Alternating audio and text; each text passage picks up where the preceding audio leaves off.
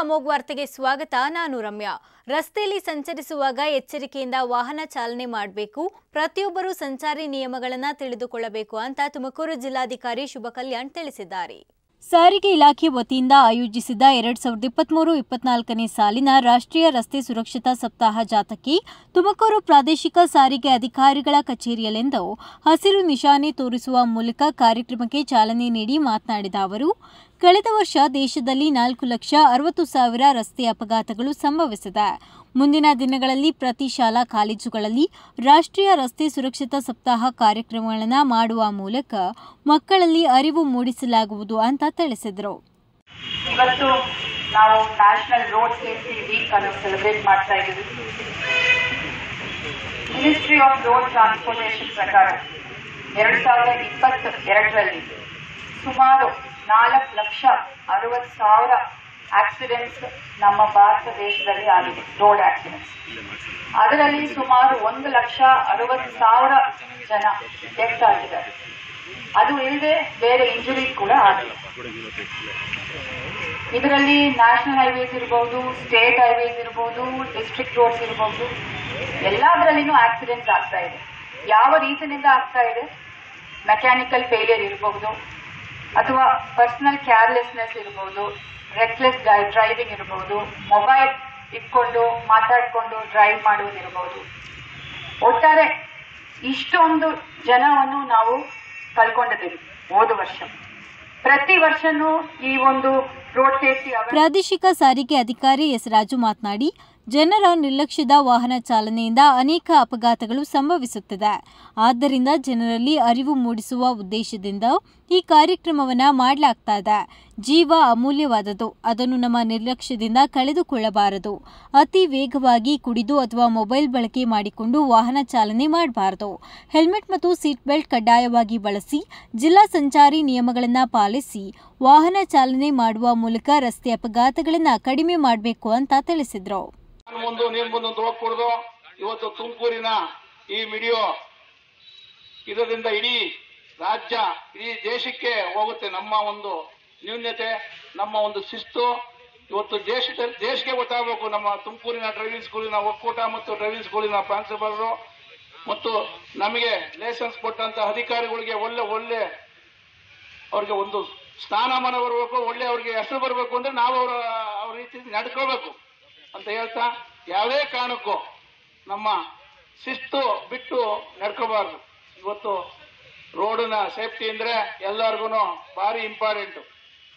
ಎಲ್ಲರಿಗೂ ಮಕ್ಕಳು ಮರಿ, ಮತ್ತು ನಮ್ಮನ್ನು ನೆಚ್ಕೊಂಡಿರೋಂಥ ಎಷ್ಟೋ ಜನ ಇರ್ತಾರೆ. ಐದು ನಿಮಿಷ, ಹತ್ತು ನಿಮಿಷದ ಒಂದು ದುಡುಕಿನ ಸ್ವಭಾವದಿಂದ ಏನು ಅನಾಹುತ ಆಗ್ತದೆ ಅಂತ ಎಲ್ಲರಿಗೂ ಗೊತ್ತಿರೋ ವಿಚಾರ. ಆದ್ದರಿಂದ ಇವತ್ತು ನಾವು ಅದನ್ನ ಶಿಸ್ತು ಪಾಲನೆ ಮಾಡಿದ್ರೆ ನಮ್ಮನ್ನ ನೋಡಿ ಬೇರೆ ಕಲಿಬೇಕು. ಅಂತ ಹೇಳ್ತಾ, ಯಾವುದೇ ಕಾರಣಕ್ಕೂ ನಾವು ಇಲ್ಲಿಂದ ಹೊರಟು ಇವತ್ತು ಡಿ ಸೇರೆ ಬಂದು ನಮಗೆ ಎಸ್ ಬೇರೆ ಮತ್ತು ಸಾರಿ ಅಧಿಕಾರಿಗಳು ನಮ್ಮನ್ನ ಪ್ರೀತಿ ಮಾಡ್ತಾರೆ ಅಂದ್ರೆ ನಮ್ದು ಶಿಸ್ತಿಗೆ ಪ್ರೀತಿ ಮಾಡ್ತಾರೆ. ಮುಂದೆ ಅದೇ ರೀತಿ ಅವರು ನಡ್ಕೋಬೇಕು. ನಾವೆಲ್ಲ ನಾವು ಹೋದ್ರೆ ಯಾವುದೇ ಇಲಾಖೆಗೆ ಹೋದ್ರೆ ಡ್ರೈವಿಂಗ್ ಸ್ಕೂಲ್ನವರು ಅಂದ್ರೆ "ಏ, ಬರ್ರಪ್ಪ ಕೂಕಳ್ರಿ. ನೀವು ಒಂಚೂರು ರೂಲ್ಸ್ ರೆಗ್ಯುಲೇಷನ್ ತಿಳ್ಕೊಂಡಿದ್ದೀರಾ? ಅನ್ನೋ ಮಟ್ಟಿಗೆ ನಡ್ಕೋಬೇಕು ಅಂತ ಹೇಳ್ತಾ ಈಗ ನಮ್ಮ ಅಧಿಕಾರಿಗಳು ಸಾರಿಗೆ ಅಧಿಕಾರಿಗಳು ಇನ್ಸ್ಪೆಕ್ಟರ್ ಏನ್ ಹೇಳ್ತಾರೋ ನಮ್ಮ ಕಾರ್ಯಕ್ರಮದಲ್ಲಿ ಹೆಚ್ಚುವರಿ ಪೊಲೀಸ್ ವರಿಷ್ಠಾಧಿಕಾರಿ ಮರಿಯಪ್ಪ ಹಿರಿಯ ಮೋಟಾರ್ ವಾಹನ ಇನ್ಸ್ಪೆಕ್ಟರ್ ಸದ್ರುಲ್ಲಾ ಚಾಲನಾ ತರಬೇತಿ ಶಾಖೆಯವರು ಸೇರಿದಂತೆ ಇತರರು ಹಾಜರಿದ್ದರು. ಎನ್ಎಸ್ ಮಾರುತಿ ಪ್ರಸಾದ್ ಅಮೋಕ್ ಟಿವಿ ತುಮಕೂರು. ತುಮಕೂರು ನಗರದ ಸಿದ್ಧಗಂಗಾ ಇಂಜಿನಿಯರಿಂಗ್ ಕಾಲೇಜಿನ ಹಾಸ್ಟೆಲ್ಗಳಲ್ಲಿ ಕೆಲಸ ನಿರ್ವಹಿಸುತ್ತಿದ್ದ ನೌಕರರು ಸರಿಯಾದ ವೇತನವನ್ನು ನೀಡುವಂತೆ ಒತ್ತಾಯ ಮಾಡಿದ್ದಕ್ಕೆ ಕಾಲೇಜಿನ ಆಡಳಿತ ಮಂಡಳಿ ತೊಂಬತ್ತೊಂದು ನೌಕರರನ್ನು ಕೆಲಸದಿಂದ ವಜಾಗೊಳಿಸಿದೆ. ಶಿಕ್ಷಕರು ಸತ್ತೋಗ್ಬಿಡ್ತೀವಿ ಸರ್ ಮಾಡಿದ್ರೆ ನಮ್ಗೆ ಆಗಲ್ಲ ಸರ್. ಸತ್ತೋಗ್ಬಿಡ್ತೀವಿ ಸರ್ ನಾವು ಸತ್ತೋಗ್ಬಿಡ್ತೀವಿ ಸರ್ ನಾವು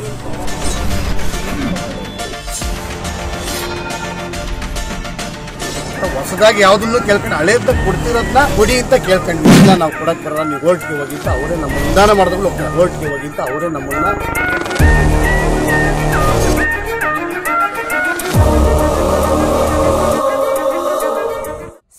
ಇಪ್ಪತ್ತೈದು ಮೂವತ್ತು ವರ್ಷಗಳಿಂದ ಹಾಸ್ಟೆಲ್ಗಳಲ್ಲಿ ಕೆಲಸ ಮಾಡ್ತಿದ್ದು. ಪರಿಷ್ಕೃತ ವೇತನವನ್ನ ನೀಡುವಂತೆ ಕಾರ್ಮಿಕರು ಕಾಲೇಜಿನ ಆಡಳಿತ ಮಂಡಳಿಗೆ ಒತ್ತಾಯಿಸಿದ್ದಾರೆ. ಆದರೆ ಯಾವುದೇ ರೀತಿಯ ನೋಟಿಸನ್ನ ನೀಡದೆ ಕ್ಷುಲ್ಲಕ ಕಾರಣವನ್ನ ನೀಡಿ ಕೆಲಸದಿಂದ ವಜಾಗೊಳಿಸಿದ್ದಾರೆ. ನಿನ್ನೆ ಸಂಜೆ ಒಂಬತ್ತರವರೆಗೂ ಕೆಲಸ ಮಾಡಿ ಮನೆಗೆ ಹೋಗಿದ್ದು, ಬೆಳಗ್ಗೆ ಕೆಲಸಕ್ಕೆ ಬಂದಾಗ ಪೊಲೀಸರ ನೆರವು ಪಡೆದು ಕೆಲಸಕ್ಕೆ ಹಾಜರಾಗದಂತೆ ತಡೆದು ಹೊರ ಹಾಕಿರುತ್ತಾರೆ ಈ ನೌಕರರನ್ನ ನಂಬಿಕೊಂಡು ಅನೇಕ ಕುಟುಂಬಗಳು ಜೀವನ ನಡೆಸುತ್ತಿದ್ದವು ಇಂದು ಕೆಲಸದಿಂದ ವಜಾಗೊಳಿಸಿರುವುದರಿಂದ ಕುಟುಂಬಗಳು ಬೀದಿಗೆ ಬಂದಂತಾಗಿದೆ. ಈ ಬಗ್ಗೆ ಜಿಲ್ಲಾಧಿಕಾರಿಗಳಿಗೆ ನ್ಯಾಯ ದೊರಕಿಸಿಕೊಡುವಂತೆ ಮನವಿ ಮಾಡಿದ್ದಾರೆ. ನಮಗೆ ನ್ಯಾಯ ದೊರಕದಿದ್ದಲ್ಲಿ ಪಕ್ಷದಲ್ಲಿ ಉಗ್ರ ಹೋರಾಟ ನಡೆಸುವುದಾಗಿ ಹಾಗೂ ವಿಷ ಸೇವಿಸಿ ಆತ್ಮಹತ್ಯೆ ಮಾಡಿಕೊಳ್ಳುವುದಾಗಿ ನೌಕರರು ತಿಳಿಸಿದ್ದಾರೆ. ನನ್ನ ಹೆಸರು ಗೋಪಾಲ್ ಅಂತ. ಮೂವತ್ತು ವರ್ಷಗಳಿಂದ ಎಸ್ ಐ ಟಿ ಹಾಸ್ಟೆಲಲ್ಲಿ ಕೆಲಸ ಮಾಡ್ತಾ ಇದ್ದೀನಿ. ಏನಾಗಿ? ಹಾಸ್ಟೆಲ್ ವರ್ಕರ್ ಆಗಿ ಕೆಲಸ ಮಾಡ್ತಾ ಇದ್ದೀನಿ. ನಾನು ಸ್ಟಾರ್ಟಿಂಗ್ ಸೇರಿದಾಗ ಒಂದು ತಿಂಗಳಿಗೆ ನೂರ ಇಪ್ಪತ್ತೈದು ರೂಪಾಯಿಂದ ಕೆಲಸ ಮಾಡಿದ್ದೀನಿ. ನನಗೀಗ ಮೂವತ್ತು ವರ್ಷ ಸರ್ವಿಸ್ ಆಗಿದೆ. ನಾವು ಹೊಸದಾಗಿ ಯಾವುದನ್ನು ಸಹ ಕೇಳ್ಕೊಂಡಿಲ್ಲ ಸರ್. ನಮಗೆ ಹಿಂದೆ ಏನೇನು ಕೊಟ್ಟಿದ್ರು ಅದನ್ನು ಮಧ್ಯದಲ್ಲಿ ನಿಲ್ಲಿಸಿದ್ರು ದಯಮಾಡಿ ನಮ್ಗೆ ಅದು ಏನು ನಿಲ್ಲಿಸಿದ್ರು ಅದನ್ನು ಕೊಡಿ, ನಾವು ಯಾವುದು ಹೊಸದಾಗಿ ಯಾವುದನ್ನು ಎಕ್ಸ್ಟ್ರಾ ಕೊಡಿ, ಜಾಸ್ತಿ ಕೊಡಿ ಅಂತ ಕೇಳ್ಕೊಂಡಿಲ್ಲ ಸರ್. ನಮಗೆ ಇಪ್ಪತ್ತೈದು ವರ್ಷದಿಂದ ನಾವು ಮೂವತ್ತೈದು ವರ್ಷ ಕೆಲಸ ಮಾಡಿದ್ದೀವಿ ಹಿಂದೆ ನಮ್ಗೆ ಎರಡು ಸಾವಿರದ ಒಂಬತ್ತರಲ್ಲಿ ಪೂಜ್ಯ, ಪರಮ ಪೂಜ್ಯ ಶಿವಕುಮಾರ ಮಹಾಸ್ವಾಮಿಗಳನ್ನ ಅವ್ರು ಕೇಳ್ಕೊಂಡಿದ್ದಾಗ ಈ ಥರ ಈ ಥರ ಹಿಂಗೆ ಮಾಡಿಕೊಡಿ ಅಂತ ಅವಾಗ ಎರಡು ಸಾವಿರದ ಒಂಬತ್ತರಲ್ಲಿ ಮಾಡಿಕೊಟ್ಟಿದ್ರು. ಸುಮಾರು ಇದನ್ನೆಲ್ಲ ಮಾಡಿಕೊಟ್ಟಿದ್ರು. ಅವನ ಮಧ್ಯದಲ್ಲಿ ಏನು ಮಾಡಿದ್ರು? ಎಲ್ಲ ಒಂದೊಂದೇ ಒಂದೊಂದೇ ಭಾನುವಾರದ ಕೊಡ್ತಿದ್ರು, ಸೋಪು, ಎಣ್ಣೆ ಕೊಡ್ತಿದ್ರು. ಹೀಗೆ ಹಿಂಗೆ ಕೆಲವೊಂದು ಎಲ್ಲ ಕೊಡ್ತಿರ್ತಕ್ಕಂಥ ಇವನ್ನೆಲ್ಲ ನಿಲ್ಸ್ಕೊಂಡು ನಿಲ್ಸ್ಕೊಂಡು ನಿಲ್ಸ್ಕೊಂಡು ನಿಲ್ಸ್ಕೊಂಡು ಬಂದರು. ಸರಿ, ನಾವು ಈಗ ಇಷ್ಟು ವರ್ಷ ಕೆಲಸ ಮಾಡಿದ್ವಿ, ಕೊಡ್ತಾ ಇಲ್ಲ. ಇದನ್ನು ಮತ್ತೆ ನಾವೆಲ್ಲ ಒಂದ್ಸತಿ ಹೋಗಿ ಆಫೀಸಲ್ಲಿ ಕೂತ್ಕೊಂಡು ಕೇಳಿದ್ವಿ. ಒನ್ ಅವರ್ ಎರಡು ಅವರ್ ಕೂತಿದ್ವಿ. ನಮ್ಮ ಪ್ರಿನ್ಸಿಪಲ್ ಚೇಂಬರ್ ಹತ್ರ ಹೋದ್ವಿ. ನಾವು ಯಾವುದೇ ಕಾರಣಕ್ಕೂ ಕೋರ್ಟ್ಗೆ ಹೋಗ್ತೀವಿ, ಕೇಸ್ ಮಾಡ್ತೀವಿ ಅಂತ ಹೇಳಿದ್ರಲ್ಲ. ಹೋಗಿ ಒಂದೂವರೆ ಗಂಟೆ ನಾವು ಅವ್ರ ಆಫೀಸಲ್ಲಿ ಅವ್ರ ಸಮ್ಮುಖದಲ್ಲಿ ಕುಳ್ತ್ಕೊಂಡ್ವಿ.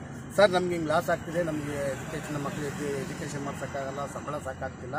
ನಮಗೇನು ಹಳೇದು ಏನೇನು ಕೊಡ್ತೀವಿ ಅದು ನಿಲ್ಸಿರೋದೆಲ್ಲ ಕೊಡಿ ಸರ್ ನಮಗೆ ಅಂತ ಹೊಸದಾಗಿ ಯಾವುದನ್ನು ಕೇಳ್ಕೊಂಡು ಹಳೇದನ್ನ ಕೊಡ್ತಿರೋದನ್ನ ಕೊಡಿ ಅಂತ ಕೇಳ್ಕೊಂಡ್ವಿ ನಾವು. ಇಲ್ಲ, ನಾವು ಕೊಡಕ್ಕೆ ಬರಲ್ಲ, ನೀವು ಕೋರ್ಟ್ಗೆ ಹೋಗಿ ಅಂತ ಅವರೇ ನಮ್ಮನ್ನು ಅಲ್ಲಿ ಸಂಧಾನ ಮಾಡಿದ್ರು ಹೋಗ್ತಾರೆ. ಇಲ್ಲ, ನೀವು ಕೋರ್ಟ್ಗೆ ಹೋಗಿ ಅಲ್ಲಿಂದಲೇ ಬಾ ಹೋಗಿ, ಅಲ್ಲಿಂದಲೇ ಹೋಗಿ ಅಂತ ಹೇಳಿದ್ವಿ ಸ್ಕ್ಯಾವಿಂಜರ್ ಕೆಲಸ ಮಾಡ್ತಿದ್ವಿ ಸರ್. ಇಪ್ಪತ್ತಾರು ವರ್ಷದಿಂದ ಕೆಲಸ ಮಾಡ್ತಿದ್ವಿ ಎಲ್ಲ ಆಲ್ ರೌಂಡ್ ಪೂರ ಮಾಡ್ಬಿಟ್ಟು ಬಾತ್ರೂಮ್ ಎಲ್ಲ ಒಂದು ಕಡೆಯಿಂದ ಮಾಡ್ಕೊಂಡ್ಬರ್ಬೇಕು ಅವ್ರು ಹೇಳಿದ ಕೆಲಸ ಎಲ್ಲ ಮಾಡಬೇಕು. ಎಲ್ಲಿಗೆ ಕರಿತಾರೋ ಅಲ್ಲಿಗೆ ಹೋಗ್ಬೇಕು. ಬಚ್ಚಲ್ಗಿಳಿರಿ ಅಂದ್ರೆ ಬಚ್ಚಲ್ಗಿಳಿದು ಚೇಂಬರ್ ಎಲ್ಲ ತೆಗಿಬೇಕು. ಒಂದು ಕಡೆಯಿಂದ ಎಲ್ಲ ಕೆಲಸನೂ ಮಾಡ್ಬೇಕು ಸರ್ ನಾವು ಇವಾಗ ಏನು ಕೆಲಸದಿಂದ ತೆಗ್ದಾಕೋರ? ಕೆಲಸದಿಂದ ಅಂದ್ರೆ ಬೆಳಗ್ಗೆ ನೆನ್ನೆ ಎಲ್ಲ ಕೆಲಸ ಮಾಡಿದ್ದೀವಿ ಎಷ್ಟು ಗಂಟೆವರೆಗೂ ಕೆಲಸ ಮಾಡಿದ್ರಿ? ಸಾಯಂಕಾಲ ಐದೂವರೆವರೆಗೂ ಕೆಲಸ ಮಾಡಿದೀವಿ. ಬೆಳಗ್ಗೆ ಎದ್ದು ಬರುವಾಗೆ ಒಳಗಡೆ ಕೆಲಸ ಮಾಡ್ತೀವಿ. ಟೋಟಲ್ ಎಷ್ಟು ಜನ ಕೆಲಸ ಮಾಡ್ತಿದ್ದೀರ ಅಲ್ಲಿ? ನಾವು ನಾಲ್ಕು ಜನ ಹೆಂಗಸ್ರಿದ್ದೀವಿ ಒಂದೊಂದು ಹಾಸ್ಲಾಗೆ ಒಂದೊಂದು ಹಾಸ್ಟ್ಲಾಗೆ ಇವರೇ ನಮ್ಮ ಮೇಡಮ್ನು ನಾಲ್ಕು ಜನ ಹೆಂಗಸ್ರಿದ್ದೀವಿ ಗಂಡಸರು ಒಂದ್ ಎಂಟು ಜನ ಅವ್ರೆ. ಟೋಟಲ್ ತೊಂಬತ್ತೊಂದು ಜನ. ಫುಲ್ಲು ತೊಂಬತ್ತೆಂಟು ಇದ್ದೀವಿ. ಕೆಲಸದಿಂದ ಚೇಂಬರ್ ತುಂಬಿರೋ ನಾವೇ ಎತ್ತ ನಾವೇ ಇಳಿದು ನಾವೇ ಇಳಬೇಕು ನಾವೇ ತೆಗಿಬೇಕು. ಹ್ಯಾಡು ಸಹ ಎತ್ತಾಕ್ಬೇಕು ನೀವೇ ಮಾಡಿ ಸಂಬಳ ಕೊಡೋಲ್ಲ ಅಂತ ಕೇಳ್ತಾರೆ ಚೇಂಬರ್ ಒಳಗಡೆ ಇಳಿಸಂಗಿಲ್ವಲ್ಲ? ಅದೇ ಏನಾರ ತುಂಬಿದ್ರೆ ನಾವು ಅದೆಲ್ಲ ಕ್ಲೀನ್ ಮಾಡ್ಬೇಕು. ನಾವೇ ಮಾಡ್ಬೇಕು. ಹಾಂ. ಎಲ್ಲ ನಾವೇ ಮಾಡ್ಬೇಕು. ಮುಂದೆ ಏನು ಮಾಡ್ಬೇಕು ಅಂದ್ಕೊಂಡಿದ್ದೀರಾ ಕೆಲಸದಿಂದ ತೆಗ್ದಾಕ್ತಿರೋದ? ಏನ್ ಮಾಡೋಣ ಸ್ವಾಮಿ? ನಮ್ಮ ಜೀವನ ಮಾಡೋದೇ ಕಷ್ಟ ಮಾಡ್ಬೇಕು ಆಗೈತೆ ಬಾಡಿಗೆ ಕಟ್ಟಬೇಕು ಸರ್. ನಾವು ಜೀವನ ಮಾಡೋದು ಹೆಂಗೆ? ಬಾಡಿಗೆ ನಮಗೆ ಸ್ವಂತ ಮನೆಗಳೇ ಇಲ್ಲ ನಾವೇನ್ ಮಾಡೋಣ ಮನೆ ಇಲ್ಲ ನಮಗೆ. ಈಗ ತೆಗ್ದಾಕ್ಬಿಟ್ರಿ ಹಂಗೆ ನಾವು ಜೀವನ ಹಂಗೆ? ನಮಗೆ ಕೆಲಸ ಬೇಕೇ ಬೇಕು. ಸತ್ತೋಗ್ಬಿಡ್ತೀವಿ ಸರ್ ನಾವು. ಹಿಂಗೆಲ್ಲ ಮಾಡಿದ್ರೆ ನಮ್ಗೆ ಆಗಲ್ಲ ಸರ್. ಸತ್ತೋಗ್ಬಿಡ್ತೀವಿ ಸರ್ ನಾವು. ವಿಷಪುರ್ ಸತ್ತೋಗ್ಬಿಡ್ತೀವಿ ಸರ್ ನಾವು.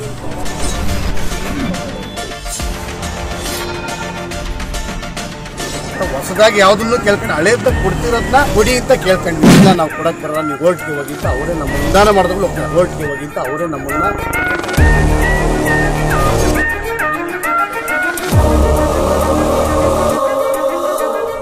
ಸರ್ಕಾರ ಸಾಂಸ್ಕೃತಿಕ ನಾಯಕ ಬಸವಣ್ಣ ಎಂದು ಘೋಷಣೆ ಮಾಡಿರುವ ನಿಮಿತ್ತ ತುಮಕೂರಿನ ಜಿಲ್ಲಾಡಳಿತದ ವತಿಯಿಂದ ನ್ಯಾಯಾಲಯದ ಸಭಾಂಗಣದಲ್ಲಿ ಸಾಂಸ್ಕೃತಿಕ ನಾಯಕ ಬಸವಣ್ಣನವರ ಭಾವಚಿತ್ರ ಅನಾವರಣ ಕಾರ್ಯಕ್ರಮ ಹಮ್ಮಿಕೊಳ್ಳಲಾಗಿತ್ತು. ಬಸವಣ್ಣನವರ ಭಾವಚಿತ್ರ ಅನಾವರಣ ಕಾರ್ಯಕ್ರಮದಲ್ಲಿ ಬಸವಣ್ಣನವರ ಭಾವಚಿತ್ರಕ್ಕೆ ಪುಷ್ಪಾರ್ಚನೆ ಮಾಡಿ ಮಾತನಾಡಿದ ತುಮಕೂರು ಜಿಲ್ಲಾಧಿಕಾರಿ ಶುಭ ಕಲ್ಯಾಣ್ ಜಗದ್ಗುರು ಬಸವಣ್ಣ ಅವರ ತತ್ವಗಳು ಇಂದಿಗೂ ಕೂಡ ಜೀವಂತವಾಗಿದೆ. ಹನ್ನೆರಡನೇ ಶತಮಾನದಲ್ಲಿಯೇ ರೂಪಿಸಿದ ಸಾಮಾಜಿಕ ನ್ಯಾಯ, ಸಮಾನತೆ ತತ್ವಗಳನ್ನು ಭಾರತ ಸಂವಿಧಾನದಲ್ಲಿ ಕಾಣಬಹುದಾಗಿದೆ. ಮಾನವ ತನ್ನ ಕೈಲಾದಷ್ಟು ಒಬ್ಬರಿಗೆ ಸಹಾಯ ಮಾಡಿದ್ರೆ ಅದೇ ಸ್ವರ್ಗ. ಬೇರೆಯವರನ್ನ ನೋಯಿಸಿದ್ರೆ ಅದೇ ನರಕವೆಂದು ಬಸವಣ್ಣನವರು ತಿಳಿಸಿದ್ದವು. ಇದನ್ನು ನಾವೆಲ್ಲರೂ ನಮ್ಮ ಜೀವನದಲ್ಲಿ ಅಳವಡಿಸಿಕೊಂಡು ನಮ್ಮ ಮಾತಿನಿಂದ ಯಾರಿಗೂ ನೋವಾಗದಂತೆ ನಡೆದುಕೊಳ್ಳಬೇಕು ಅಂತ ತಿಳಿಸಿದ್ರು. ಸಮಾಜವನ್ನು ಕಟ್ಟಬೇಕು. ಅನ್ನುವ ಒಂದು ನಿಷ್ಠೆಯಿಂದ ಒಂದು ಕನಸು ಇಟ್ಕೊಂಡು ಅದಕ್ಕೆ ಪ್ರಾಮಾಣಿಕವಾಗಿ ಪ್ರಯತ್ನ ಮಾಡಿದವರು ನಮ್ಮ ಜಗದ್ಗುರು ಅವರು. ಇವತ್ತಿಗೂ ಕೂಡ ಅವರ ತತ್ವಗಳು ಏನ್ ಹೇಳಿದ್ದಾರೆ ಅದು ಅನ್ವಯ ಆಗುತ್ತೆ. ನಮ್ಮ ಕಾನ್ಸ್ಟಿಟ್ಯೂಷನ್ ಅಲ್ಲಿ ಅವರು ಏನ್ ಹೇಳಿದ್ದಾರೆ?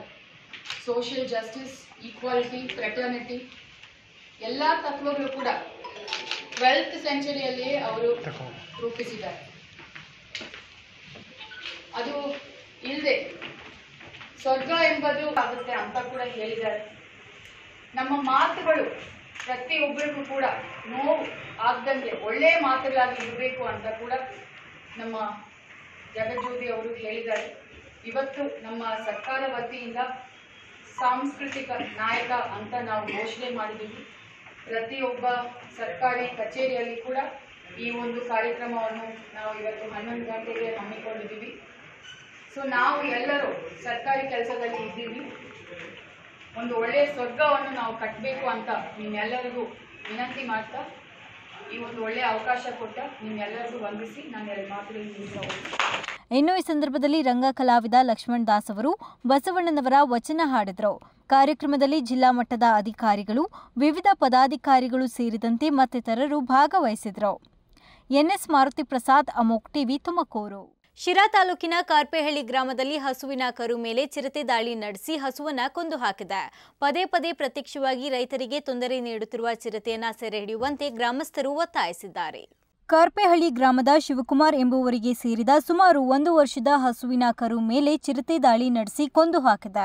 ಚಿರತೆ ದಾಳಿ ನಡೆಸಿ ಕೊಂದು ಹಾಕಿದ ಸ್ಥಳಕ್ಕೆ ಅರಣ್ಯಾಧಿಕಾರಿಗಳು ಭೇಟಿ ನೀಡಿ ಪರಿಶೀಲನೆ ನಡೆಸಿದ್ದಾರೆ. ಇತ್ತೀಚೆಗೆ ಈ ಭಾಗದಲ್ಲಿ ಚಿರತೆಗಳ ಹಾವಳಿ ಹೆಚ್ಚಾಗದು, ಹಸುವನ್ನು ಕೊಂದಿರುವುದು ಗ್ರಾಮಸ್ಥರಲ್ಲಿ ಆತಂಕ ಮೂಡಿಸಿದೆ. ಈ ಭಾಗದಲ್ಲಿ ಚಿರತೆ ಸೆರೆಯ ತಂಡವನ್ನು ನಿಯೋಜಿಸಬೇಕು, ಚಿರತೆ ಹಾವಳಿಯನ್ನು ತಪ್ಪಿಸಬೇಕು, ಹಸು ಮಾಲೀಕರಿಗೆ ಪರಿಹಾರ ಒದಗಿಸಬೇಕು ಅಂತ ಗ್ರಾಮಸ್ಥರು ಒತ್ತಾಯಿಸಿದ್ದಾರೆ. ಶಿರಾ ತಾಲೂಕಿನ ಪ್ರಮುಖ ಹೆದ್ದಾರಿಯಲ್ಲಿ ನಿನ್ನೆ ತಡರಾತ್ರಿ ಎರಡು ಪ್ರತ್ಯೇಕ ಅಪಘಾತ ಪ್ರಕರಣಗಳು ಸಂಭವಿಸಿದ್ದು, ಘಟನೆಯಲ್ಲಿ ಇಬ್ಬರು ಸಾವಿನ ಮನೆ ಸೇರಿದ್ದಾರೆ. ಉಳಿದವರಿಗೆ ಗಂಭೀರ ಗಾಯಗಳಾಗಿದ್ದು, ಶಿರಾ ತಾಲೂಕು ಆಸ್ಪತ್ರೆಯಲ್ಲಿ ಚಿಕಿತ್ಸೆ ಕೊಡಿಸಲಾಗುತ್ತದೆ ಟ್ರ್ಯಾಕ್ಟರ್ಗೆ ತವೇರಾ ಕಾರು ಡಿಕ್ಕಿಯಾಗಿ ಒಬ್ಬರು ಸ್ಥಳದಲ್ಲೇ ಸಾವನ್ನಪ್ಪಿರುವ ಘಟನೆ. ಶಿರಾ ಮಧುಗಿರಿ ರಸ್ತೆಯ ಪದ್ಮಪುರ ಗೇಟ್ ಬಳಿ ರಾತ್ರಿ ಸುಮಾರು ಏಳು ಗಂಟೆ ಸಮಯದಲ್ಲಿ ನಡೆದಿದೆ. ತವೇರಾ ಕಾರ್ನಲ್ಲಿದ್ದ ರೇಖಾ ಸ್ಥಳದಲ್ಲಿ ಸಾವನ್ನಪ್ಪಿದ್ದು, ಚಾಲಕ ಮನು ಆಸ್ಪತ್ರೆಗೆ ಸಾಗಿಸುವ ಮಾರ್ಗ ಮಧ್ಯೆ ಕೊನೆ ಉಸಿರೆಳೆದಿದ್ದಾರೆ. ಕಾರಿನಲ್ಲಿದ್ದ ಕಮಲಮ್ಮ, ಸಾಗರ ಮತ್ತು ಸರಸ್ವತಮ್ಮ ಸೇರಿ ನಾಲ್ವರಿಗೆ ಗಾಯಗಳಾಗಿದೆ. ಶಿರಾ ಆಸ್ಪತ್ರೆಯಲ್ಲಿ ಗಾಯಾಳುಗಳಿಗೆ ಚಿಕಿತ್ಸೆ ನೀಡಲಾಗುತ್ತಿದೆ ಕುನಳಿಯ ಶನಿ ಮಹಾತ್ಮ ದೇವಾಲಯದಲ್ಲಿ ಪೂಜೆಯನ್ನ ಮುಗಿಸಿ ವಾಪಸ್ಸಾಗ್ತಿದ್ದ ವೇಳೆ ಸಿಮೆಂಟ್ ಇಟ್ಟಿಗೆ ತುಂಬಿ ರಸ್ತೆ ಬದಿ ಟ್ರ್ಯಾಕ್ಟರ್ಗೆ ಕಾರು ಡಿಕ್ಕಿಯಾಗಿದೆ.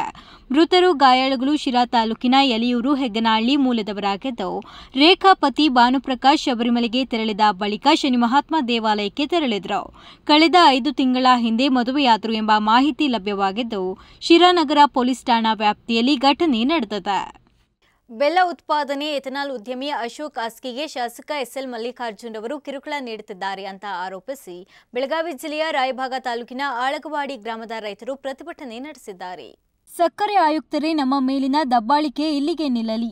ಪ್ರಾಣ ಬಿಟ್ಟೇವು, ಕಾರ್ಖಾನೆ ಬಿಡವು ಎಂಬ ಭಿತ್ತಿಚಿತ್ರ ಪ್ರದರ್ಶಿಸುವ ಮೂಲಕ ರೈತರು ಪ್ರತಿಭಟನೆ ನಡೆಸಿದ್ದು ರಾಯಬಾಗ ತಹಶೀಲ್ದಾರ್ ಮೂಲಕ ಬ್ರಹ್ಮಾನಂದ ಸಾಗರ ಜಾಗರ ಇಂಡಸ್ಟ್ರಿ ಎಂಡಿ ಅಶೋಕ್ ಆಸ್ಕಿ ಸಿಎಂಗೆ ಮನವಿ ಸಲ್ಲಿಸಿದ್ರು. ಜಿಲ್ಲಾಧಿಕಾರಿಗಳ ಮೂಲಕ ಸಿಎಂಗೆ ಮನವಿ ಸಲ್ಲಿಸಲಾಗುವುದು ಅಂತ ರಾಯಭಾಗ ತಹಶೀಲ್ದಾರ್ ಪ್ರಶಾಂತ್ ಚನ್ನಗೌಡಲರ ಭರವಸೆ ನೀಡಿದ್ದಾರೆ. ಪ್ರತಿಭಟನೆ ಅನ್ನೋಕ್ಕಿಂತನೂ ಸುಮ್ ನಮ್ಮನ್ನ ಸಾಯಕ್ಕೆ ಬಿಡ್ರಿ ಅಂತ ಅನ್ನೋದು ಆ ಥರನೇ ಆಗೈತ್ರಿ ಕಷ್ಟ. ಪರಿಸ್ಥಿತಿನ ಅಲ್ಲಿಗೆ ಬಂದ ಕಷ್ಟ ಯಾಕಂದ್ರೆ ಮಂತ್ರಿ ಇದಾರೆ ಎಸ್ ಎಸ್ ಮಲ್ಲಿಕಾರ್ಜುನ. ನಾ ಡೈರೆಕ್ಟಾಗಿ ಹೇಳ್ತೀನಿ. ತೋಟಗಾರಿಕಾ ಸಚಿವರು ಎಸ್ ಎಸ್ ಮಲ್ಲಿಕಾರ್ಜುನ ಅವರ ಈ ಪ್ರತಿಭಟನೆಗೆ ಒಂದು ಕಾರಣ ಆಗ್ಯಬೋದು. ಪಕ್ಕಕ್ಕೊಂದು ಫ್ಯಾಕ್ಟ್ರಿ ಕಟ್ಟ್ಯಾರ.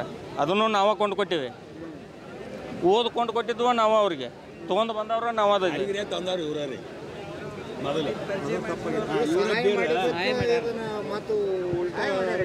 ಅದೇನೋ ಅಂತಾರ ನಮ್ಮ ಹಳ್ಳಿ ಕಡೆ ಗಾಡಿ. ಅಂತ ತಗೊಂಡ ಬಡ್ಕೊಂಡ್ ಹಂಗ ಹಂಗಾಗ್ಯದ ನಮ್ಗೆ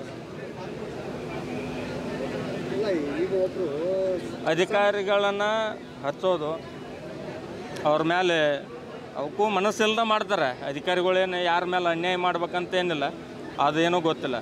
ಅವ್ರದ್ದು ದಬ್ಬಾಳಿಕೆ ಅಧಿಕಾರಿಗಳ ಮೇಲೆ ಮಾಡ್ತಾರೆ ಅಧಿಕಾರಿಗಳು ನಮ್ಮ ಮೇಲೆ ಮಾಡಕತ್ತಾರೆ ಕಳೆದ ಒಂಬತ್ತು ತಿಂಗಳಿಂದ ರಾಯಚೂರು ಜಿಲ್ಲಾ ಕಾಂಗ್ರೆಸ್ ಅಧ್ಯಕ್ಷರಿಲ್ಲದೆ ಗೊಂದಲ ಉಂಟಾಗಿದ್ದರಿಂದ ಕಾಂಗ್ರೆಸ್ ಮುಖಂಡರು ಹಾಗೂ ಕಾರ್ಯಕರ್ತರು ಅತಂತ್ರದಲ್ಲಿದ್ದು, ಸಚಿವರು ಮತ್ತು ಜಿಲ್ಲೆಯ ಶಾಸಕರ ನಡುವೆ ಹೊಂದಾಣಿಕೆ ಇಲ್ಲದೆ ಇರುವುದರಿಂದ ಇದಕ್ಕೆ ಕಾರಣ ಅಂತ ಕಾಂಗ್ರೆಸ್ ಮುಖಂಡ ಸೈಯದ್ ಹುಸೇನ್ ಸಾಹೇಬ್ ಗುಡುಗಿದ್ದಾರೆ. ರಾಯಚೂರು ಜಿಲ್ಲೆಯ ಮಾನ್ವಿ ಪಟ್ಟಣದ ಪತ್ರಿಕಾ ಭವನದಲ್ಲಿ ಮಾತನಾಡಿ, ಮುಸ್ಲಿಂ ಸಮಾಜದ ಮತವನ್ನ ಪಡೆದು ನಮ್ಮನ್ನ ಕಡೆಗಣಿಸದರಿಂದ ಜಿಲ್ಲೆಯಲ್ಲಿ ನಾಯಕರ ಕೊರತೆ ಉಂಟಾಗಿದೆ. ನಾವು ಯಾರನ್ನ ಕೇಳಬೇಕು ಅಂತ ಆಕ್ರೋಶ ವ್ಯಕ್ತಪಡಿಸಿದರು. ಮಾಜಿ ಸಚಿವರಾದ ಇಕ್ಬಾಲ್ ಅನ್ಸಾರಿ ಅವರಿಗೆ ವಿಧಾನ ಪರಿಷತ್ ಸ್ಥಾನವನ್ನ ನೀಡಬೇಕು ಅಂತ ಮುಖ್ಯಮಂತ್ರಿ ಸಿದ್ದರಾಮಯ್ಯ ಅವರನ್ನ ಆಗ್ರಹಿಸಿದ್ರು. ಮಾನ್ವಿಯಲ್ಲಿ ವಿಧಾನಸಭೆ ಚುನಾವಣೆ ನಡೆದ ನಂತರ ಶಾಸಕ ಹಂಪಯ್ಯ ನಾಯಕ ಅವರು ಕಾಂಗ್ರೆಸ್ ಕಾರ್ಯಕರ್ತರನ್ನ ಕರೆದು ಮಾತಾಡಿಸಿಲ್ಲ, ಒಂದು ಬಾರಿಯೂ ಸಭೆಯನ್ನ ನಡೆಸಿಲ್ಲ ಅಂತ ಕಿಡಿಕಾರಿದ್ರು. ಶಫೀಕ್ ಹುಸೇನ್ ಅಮೋಕ್ ಟಿವಿ ಮಾನ್ವಿ. ಕಲ್ಯಾಣ ಕರ್ನಾಟಕದ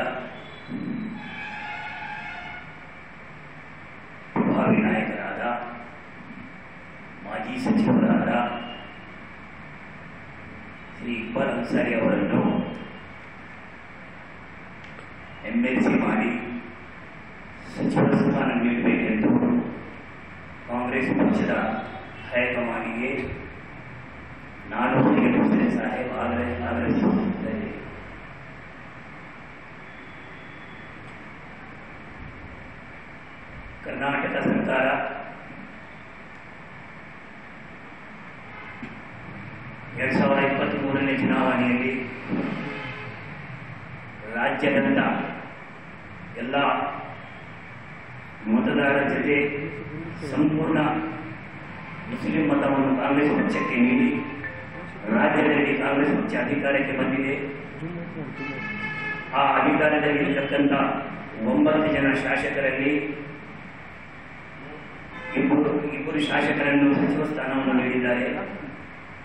ಜೊತೆಯಲ್ಲಿ ಇಬ್ಬರು ವಿಧಾನ ಪರಿಷತ್ ಸದಸ್ಯರಲ್ಲಿ ನಾಸೀರ್ ಅಹಮದ್ ಅವರನ್ನು ಮುಖ್ಯಮಂತ್ರಿಯ ಕಾರ್ಯದರ್ಶಿಯಾಗಿ ನೇಮಕ ಮಾಡಿದ್ದಾರೆ.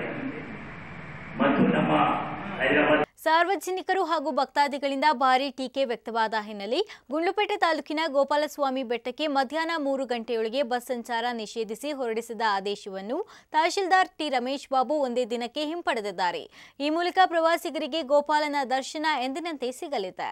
ವಿವಿಧ ಕಾರಣ ನೀಡಿ ತಾಲೂಕು ಆಡಳಿತ ಹಾಗೂ ತಹಶೀಲ್ದಾರ್ ಟಿ ರಮೇಶ್ ಬಾಬು ಗೋಪಾಲಸ್ವಾಮಿ ಬೆಟ್ಟಕ್ಕೆ ಮಧ್ಯಾಹ್ನ ಮೂರು ಗಂಟೆಗೆ ಬಸ್ ಸಂಚಾರ ನಿಷೇಧಿಸಿ ಗುರುವಾರ ಆದೇಶವನ್ನು ಹೊರಡಿಸಿದ್ರು.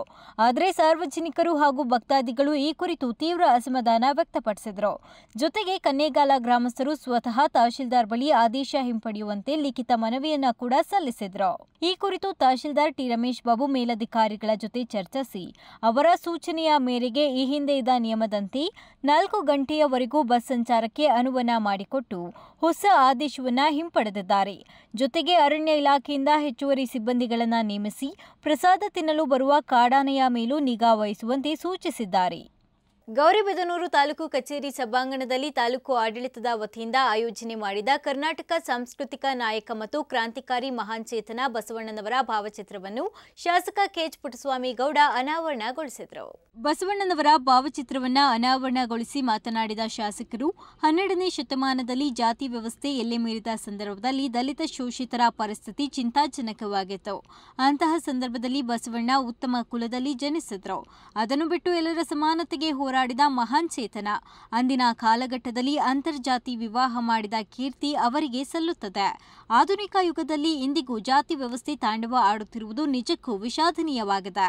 ಇಂದಿಗೂ ಗ್ರಾಮಾಂತರ ಪ್ರದೇಶದಲ್ಲಿ ಅಸ್ಪೃಶ್ಯತೆ ಇರುವುದು ನಾಚಿಕೆಗೇಡು ಅಂತ ವಿಷಾದ ವ್ಯಕ್ತಪಡಿಸಿದರು. ಎಲ್ಲಿವರೆಗೂ ಹೋಗುತ್ತೆ ಅಂದ್ರೆ ಪ್ರತಿಯೊಂದು ಜಾತಿಯವರು ಕೂಡ ಅವರ ಅನುಭವ ಮಟ್ಟದಲ್ಲಿ ಬಂದು ಸೇರ್ತಾ ಇರ್ತಾರೆ. ಈ ಜಾತಿ, ಆ ಜಾತಿ ಇನ್ನದ ಪ್ರತಿಯೊಂದು ಸೂತ್ರದಿಂದ ಹಿಡಿದು ಅಸ್ಪೃಶ್ಯರಿಂದ ಯಾಗ, ಯಾವಾಗ ಕರಿತಾ ಇದ್ರಾಗ ಹರಿಜನ, ಗಿರಿಜನ ಅಂತ ನಾವು ಇವತ್ತೇನಂತೀವಿ ಅವತ್ತಿನ ಕಾಲ ಅವ್ರನ್ನೂ ಕರೆದು ಅವ್ರು ಹೇಳ್ತಾರೆ, ಯಾರು ಇವರು ಬಸವಣ್ಣವ್ರಿಗೆ ಕೆಲವು ವಚನಗಳು ನೋಡ್ತೀರಿ. ಯಾವ ಒಂದು ಹರಿಜನ ಅಂತ ನಾವೇನಂತೀವಿ ಅವ್ರನ್ನ, ನನ್ನ ತಂದೆಯ ಸಮಾನ ಅಂತ ಒಂದು ವಚನದಲ್ಲಿ ಅವರು ಸಂಬೋಧನೆ ಮಾಡ್ತಾರೆ. ಅಷ್ಟು ಗೌರವ ಕೊಡ್ತಾರೆ ಕೆಳಬಡದ ಜನಕ್ಕೆ. ಅಂತ ವಚನಗಳನ್ನ ಆ ಕಾಲದಲ್ಲಿ ಜನಕ್ಕೆ ಅರ್ಥ ಆಗಬೇಕು. ಜನಗಳಿಗೆ ಹರಿವು ಮೂಡಿಸಬೇಕು. ಆದ್ರೆ ಆ ಕಾಲದಲ್ಲಿ ಬರೀತಿದ್ದೆಲ್ಲ ಹಳಗನ್ನಡ ಮತ್ತು ಸಂಸ್ಕೃತ ಮಿಶ್ರ ಮಿಶ್ರವಾದಂತ ಭಾಷೆಯಲ್ಲಿ ಬರೀತಾ ಇದ್ರು. ಜನಸಾಮಾನ್ಯರಿಗೆ ಏನು ಅರ್ಥ ಆಯ್ತಿರಲಿಲ್ಲ. ಸಂಸ್ಕೃತ ಮತ್ತು ಹಳಗನ್ನಡದ ಶೈಲಿನಲ್ಲಿ ಸಾಹಿತ್ಯಗಳು ರಚನೆ ಆಗ್ತಾ ಇತ್ತು. ಯಾವ ಕೂಡ ಜನಸಾಮಾನ್ಯರ ಭಾಷೆಯಲ್ಲಿ ಬರವಣಿಗೆ ಇಲ್ಲವೇ ಇಲ್ಲ. ಅದು ಬರೆದಿದ್ದು ಕೂಡ ದೊಡ್ಡ ಸಾಹಿತಿಗಳಿಗೆ ಪಂಡಿತರಿಗೆ ಅರ್ಥವಾಯ್ತಾ ಇತ್ತು. ಜನಕ್ಕೆ ಏನು ಅರ್ಥ ಆಯ್ತಿಲ್ಲ ಬರೆದಿದ್ದು. ತಹಶೀಲ್ದಾರ್ ಮಹೇಶ್ ಪತ್ರಿ ಮಾತನಾಡಿ, ಹನ್ನೆರಡನೇ ಶತಮಾನದಲ್ಲಿ ಸಮ ಸಮಾಜ ನಿರ್ಮಾಣ ಮಾಡಿದ ಮಹಾನ್ ಸಂತ ಅಂದ್ರೆ ತಪ್ಪಾಗಲಾರದು. ಅಂದಿನ ಕಾಲದ ಸಾಮಾಜಿಕ ಪಿಡುಗುಗಳನ್ನು ಹೋಗಲಾಡಿಸಲು ಅವರು ಪಟ್ಟಂತಹ ಪಾಡು ಅಷ್ಟಿಷ್ಟಲ್ಲ. ಮೇಲ್ವರ್ಗದವರ ದೌರ್ಜನ್ಯವನ್ನ ಸಹಿಸಿ ಶೋಷಿತರ ಏಳಿಗೆಗೆ ಶ್ರಮಿಸಿದ ಸಂತ ಅಂತ ತಿಳಿಸಿದರು. ಸಾಂಸ್ಕೃತಿಕ ನಾಯಕ ಅಂತ ಘೋಷಣೆ ಮಾಡಿದರು. ಯಾಕೆ ಬಸವಣ್ಣನವರನ್ನೇ ಸಾಂಸ್ಕೃತಿಕ ನಾಯಕ ಅಂತ ಘೋಷಣೆ ಮಾಡಿದ್ರು ಅಂದ್ರೆ ಹನ್ನೆರಡನೇ ಶತಮಾನದಲ್ಲಿ ಸುಮಾರು ಇಂದಿನಿಂದ ಸುಮಾರು ಎಂಟು ನೂರು ವರ್ಷಗಳ ಹಿಂದೆ ಈ ತರ ಸಮಾಜ ಇರಲಿಲ್ಲ. ಜಾತಿ ವ್ಯವಸ್ಥೆಯಿಂದ ಜಾತಿ ವ್ಯವಸ್ಥೆಯಿಂದ ಸಮಾಜ ತುಂಬಿ ತುಳುಕ್ತಾ ಇತ್ತು. ತಾರತಮ್ಯದಿಂದ ತುಳುಕ್ತಾ ಇತ್ತು. ಗಂಡು ಹೆಣ್ಣಿನ ನಡುವೆ ತಾರತಮ್ಯ ಇತ್ತು. ಜಾತಿ ಜಾತಿಗಳ ಮಧ್ಯೆ ನಾನ್ ಮೇಲು, ನೀನ್ ಕೀಳು ಅನ್ನೋ ಒಂದು ಸಂಸ್ಕೃತಿ ಇತ್ತು. ಇದಕ್ಕೆ ನಾಂದಿ ಹಾಡಿದಂಥವರು ಬಸವಣ್ಣನವರು ಮತ್ತು ಎಲ್ಲ ಶಿವಶರಣರು. ಬಸವಣ್ಣನವರು ಕೇವಲ ಲಿಂಗಾಯತ ಸಮುದಾಯಕ್ಕೆ ಅವರು ಮೀಸಲಾಗಲಿಲ್ಲ. ಅವರು ಎಲ್ಲ ಸಮುದಾಯಕ್ಕೆ ಸೇರಿದವರು. ಬಸವಣ್ಣನವರು ಒಂದು ತಮ್ಮ ವಚನದಲ್ಲಿ ಹೇಳ್ತಾರೆ, ಎಲ್ಲರೂ ತಮ್ಮ ಕೆಲಸಗಳನ್ನ ತಾವು ಮಾಡ್ಕೋತ ಹೋಗಿ, ಕಾಯಕವೇ ಕೈಲಾಸ ಅಂತ ಹೇಳ್ತಾರೆ ಕೆಲಸಕ್ಕೆ ಕೆಲಸಕ್ಕೆ ಮಹತ್ವ ಕೊಡಿ, ನಿಮ್ಮ ಕೆಲಸದಲ್ಲಿಯೇ ನೀವು ದೇವರನ್ನ ಕಾಣಿ ಅಂತ ಹೇಳ್ತಾರೆ. ನಿಮ್ ಕೆಲಸ ಹೇಗಿರ್ಬೇಕಂತಂದ್ರೆ ನಿಮ್ ಮನಸ್ಪೂರ್ವಕವಾಗಿರ್ಬೇಕು. ಮನಸ್ಸಿಲ್ಲದೆ ಯಾವುದು ಮಾಡಬೇಡಿ. ಮನಸ್ಸಿಲ್ಲದೆ ಮಾಡುವಂತ ಕಾರ್ಯ ದೇವರಿಗೆ ಮೆಚ್ಚುಗೆ ಆಗಲ್ಲ. ಅದು ನಿಮಗೆ ಅದರಿಂದ ಯಾವ ಫಲ ಫಲಾಭಿ ವೃಕ್ಷವೂ ನಿಮಗೆ ಸಿಗೋದಿಲ್ಲ ಅಂತ ಹೇಳ್ತಾರೆ. ಅದಕ್ಕೆ ಮುಖಂಡ ಜಯಣ್ಣ ಮಾತನಾಡಿ ಬುದ್ಧ ಬಸವಣ್ಣ ಅಂಬೇಡ್ಕರ್ ಅವರನ್ನ ಒಂದು ಜಾತಿ ಸೀಮಿತ ಮಾಡಿರುವುದು ತರವಲ್ಲ. ಅದು ಎಲ್ಲರಿಗೂ ದುಡಿದ ಸಂತರು. ಅವರನ್ನು ನಿಜವಾದ ದೇವರು ಅಂದ್ರೆ ತಪ್ಪಲ್ಲ. ಮಹಾನೀಯರ ತತ್ವ ಆದರ್ಶಗಳನ್ನ ನಾವು ಪಾಲಿಸಿದ್ರೆ ನಾವು ಸಮಾಜದಲ್ಲಿ ಶಾಂತಿಯನ್ನ ಕಾಣಬಹುದು ಅಂತ ತಿಳಿಸಿದ್ರು. ಈ ದಿನ ಜಗಜ್ಯೋತಿ ಬಸವಣ್ಣನವರ ಭಾವಚಿತ್ರ ಅನಾವರಣದ ಕಾರ್ಯಕ್ರಮದಲ್ಲಿ ವೇದಿಕೆ ಮೇಲೆ ಪುಟ್ಟಸ್ವಾಮಿ ಗೌಡಣ್ಣವರೇ ಹಾಗೂ ಮಾನ್ಯ ತಹಸೀಲ್ದಾರ್ ಅವರೇ ಧನ್ಯವಾದಗಳನ್ನ ಹೇಳಕ್ಕೆ ಇಷ್ಟಪಡ್ತೇನೆ. ಯಾಕೆ ಅಂದರೆ ಜಗಜ್ಯೋತಿ ಬಸವಣ್ಣ ಬಸವಣ್ಣನವ್ರನ್ನ ಕರ್ನಾಟಕ ಸಾಂಸ್ಕೃತಿಕ ನಾಯಕ ಎಂದು ಘೋಷಣೆ ಮಾಡಿದ್ದಾರೆ. ಅದಕ್ಕೋಸ್ಕರ ನಾವು ಕರ್ನಾಟಕ ಸರ್ಕಾರಕ್ಕೆ ಧನ್ಯವಾದಗಳನ್ನ ಈ ಸಮಯದಲ್ಲಿ ಅರ್ಪಿಸ್ತೇವೆ. ಹಾಗೇನೆ ಬಸವಣ್ಣವ್ರ ಬಗ್ಗೆ ನಮ್ಮ ಮಾನ್ಯ ತಹಸೀಲ್ದಾರ್ ಅವರು ಸುಮಾರು ವಿಷಯಗಳನ್ನ ತಿಳಿಸಿದ್ದಾರೆ. ಅನೇಕ ವಚನಗಳನ್ನ ಇವತ್ತು ದಿವಸ ನಮಗೆ ಸಮರ್ಪಣೆ ಮಾಡಿದ್ದಾರೆ. ಅವರ ಪ್ರತಿಯೊಂದು ವಚನಗಳನ್ನ ನಿಜವಾಗ್ಲೂ ನಾವು ಅರ್ಥ ಮಾಡ್ಕೊಂಡ್ರೆ ಎಷ್ಟು ಅರ್ಥಗರ್ಭಿತವಾಗಿದೆ ಅಂದ್ರೆ ಅದನ್ನ ಓದ್ದವ್ರಿಗೆ ಹಾಗೂ ಅದನ್ನ ಅಳವಡಿಸಿದವ್ರಿಗೆ ಅಳವಡಿಸ್ಕೊಂಡ್ರೆ ಗೊತ್ತಾಗುತ್ತೆ. ಹಾಗೇನೆ ನಾವು ಇನ್ನೊಂದು ತುಂಬಾ ಮನಸ್ಸು ನೋಡುವಂತ ಸಂಗತಿ ಏನಂದ್ರೆ ಕಾರ್ಯಕ್ರಮದಲ್ಲಿ ಸಭೆಯಲ್ಲಿ ಇಒ ಹೊನ್ನಯ್ಯ, ಮುಖಂಡರಾದ ಟಿಎಂ ಚಿಕ್ಕಣ್ಣ, ಜಯಣ್ಣ, ಬಸವರಾಜ್, ನಟರಾಜ್, ವೀರಭದ್ರ, ಪ್ರವೀಣ್, ರೈತ ಮುಖಂಡರಾದ ಲೋಕೇಶ್ ಗೌಡ, ದಲಿತ ಮುಖಂಡರಾದ ಎನ್ ಗಂಗಾಧರಯ್ಯ, ಕೆ ನಂಜುಂಡಪ್ಪ ಹಾಗೂ ಇತರೆ ಗಣ್ಯರು ಹಾಜರಿದ್ದರು. ಮಂಜುನಾಥ್, ಅಮೋಕ್ ಟಿವಿ, ಗೌರಿಬಿದ್ನೂರು. ಚಾಮರಾಜನಗರ ಜಿಲ್ಲೆ ಹನೂರು ತಾಲೂಕಿನ ಪೊನಾಚಿ ಗ್ರಾಮದ ಸುತ್ತ ಕಾಡಾನೆಗಳ ಉಪಟಳ ಹೆಚ್ಚಾಗದ್ದು. ಸಾರ್ವಜನಿಕರು ಜೀವ ಭಯದಿಂದ ಓಡಾಡುವ ಪರಿಸ್ಥಿತಿ ನಿರ್ಮಾಣವಾಗಿದೆ. ಗ್ರಾಮದ ವ್ಯಾಪ್ತಿಯಲ್ಲಿ ಕಾಣಿಸಿಕೊಂಡ ಆನೆಯನ್ನು ಸೆರೆ ಹಿಡಿದು ಬೇರೆಡೆ ಸ್ಥಳಾಂತರ ಮಾಡಿದರೂ ಕಾಟ ತಪ್ಪಿಲ್ಲ ಅಂತ ಗ್ರಾಮಸ್ಥರು ಅಸಹಾಯಕತೆ ತೋಡಿಕೊಂಡಿದ್ದಾರೆ. ಈ ಗ್ರಾಮಕ್ಕೆ ಗಜಕಾಟ ತಪ್ಪಿದ್ದಲ್ಲ. ಕೆಲ ದಿನದ ಹಿಂದಷ್ಟೇ ಸಾರ್ವಜನಿಕರಿಗೆ ತೊಂದರೆ ಕೊಡ್ತಿದ್ದ ಆನೆಯನ್ನ ಸೆರೆ ಹಿಡಿದು ಬೇರೆಡೆ ಸ್ಥಳಾಂತರ ಮಾಡಲಾಗಿತ್ತು. ಆದರೆ ಇದಾದ ಬಳಿಕವೂ ಕಾಡಾನೆಗಳ ಕಿರಿಕಿರಿಯಿಂದ ಜನತೆ ಕಂಗೆಟ್ಟು ಹೋಗಿದ್ದಾರೆ. ಗ್ರಾಮದ ಪುಟ್ಟಪ್ಪ ಎಂಬುವರ ಜಮೀನಿಗೆ ನುಗ್ಗಿದ ಒಂಟಿ ಆನೆಯೊಂದು ಸುಮಾರು ಇಪ್ಪತ್ತಕ್ಕೂ ಹೆಚ್ಚು ತೆಂಗಿನ ಮರಗಳನ್ನು ನಾಶ ಮಾಡಿ ಹೋಗಿದೆ. ಇದೇ ರೀತಿಯಾಗಿ ಆನೆಗಳ ದಾಳಿ ಮುಂದುವರಿಯುತ್ತಾ ಹೋದಲ್ಲಿ ರೈತಾಪಿ ಜೀವನ ದುಸ್ತರ ಆಗುತ್ತೆ. ಶೀಘ್ರದಲ್ಲೇ ಅರಣ್ಯ ಇಲಾಖೆ ಆನೆಗಳ ಹಾವಳಿಗೆ ಬ್ರೇಕ್ ಹಾಕಲು ಕಾರ್ಯಯೋಜನೆಯನ್ನ ರೂಪಿಸಿ ಕಂದಕಗಳನ್ನು ತೆರೆಯಬೇಕು ಮತ್ತು ರೈತರಿಗೆ ಆಗಿರುವ ನಷ್ಟವನ್ನು ನೀಡಬೇಕು ಅಂತ ಗ್ರಾಮಸ್ಥರು ಆಗ್ರಹಿಸಿದ್ದಾರೆ. ಶಿವಕುಮಾರ್, ಅಮೋಕ್ ಟಿವಿ, ಗುಂಡ್ಲುಪೇಟೆ. ಇದಿಷ್ಟು ಇವರಿಗಿನ ಪ್ರಮುಖ ಸುದ್ದಿಗಳು ಮತ್ತಷ್ಟು ಸುದ್ದಿಗಾಗಿ ನೋಡ್ತಾ ಇರಿ ಅಮೋಕ್ ಟಿವಿ ಎಂದೆಂದಿಗೂ ನಿಮ್ಮೊಂದಿಗೆ.